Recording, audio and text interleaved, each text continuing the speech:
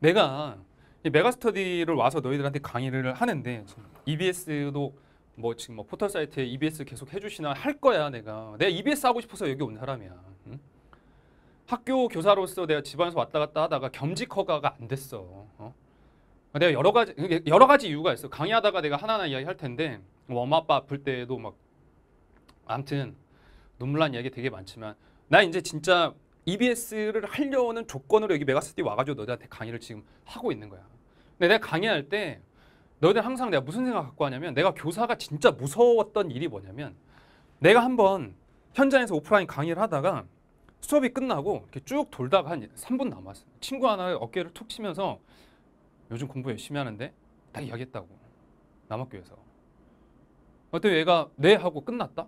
그리고 2년이 지났어. 2년 지나고 졸업식 날 얘가 날 찾아온 거야. 그 한마디 때문에 공부해서 대학 왔대. 아, 그 말 듣고 뿌듯한 것보다 소름이 쫙 돋더라. 진짜 조심히 살아야겠다.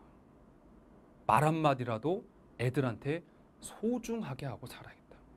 그래서 내가 직접 EBS 할 때도 수강후기 막 다 일일이 내가 직접 달고 간에 수공으로 달고 수능 그, 그 보기 전에 이번에도 올려놨지만 손편지 이렇게 쓰고 해주는 이유가 내가 해주는 한마디가 그렇게 무서울 수 있구나 힘이 될 수 있구나.